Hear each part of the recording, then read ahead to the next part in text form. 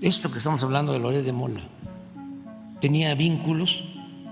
con una de las empresas de Roberto Madrazo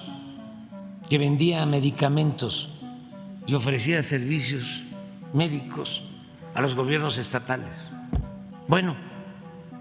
por eso hasta ahora continúa la campaña de decir no hay abasto de medicamentos. Nos costó muchísimo, porque movilizaron de manera infame hasta a niños con cáncer, a sus papás, cuando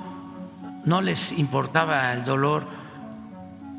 realmente el que no hubiesen los medicamentos para los niños con cáncer, lo que querían era doblarnos para que continuáramos con el mismo sistema de corrupción